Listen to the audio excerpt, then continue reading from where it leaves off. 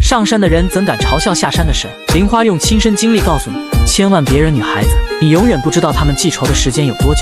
曾经说凤凰传奇唱的歌都很土的人，时隔一年被林花一眼认出，就是去年的那小伙子吗？他就是说的金木水火土，就是他。就你那一句话，积累了我去年一年奋斗了一年，付出一年的努力，凤凰传奇华丽转身，成为了当代年轻人最喜欢的国民组合。但他们的新歌我却再也不会唱了。谁家孩童追蝴蝶？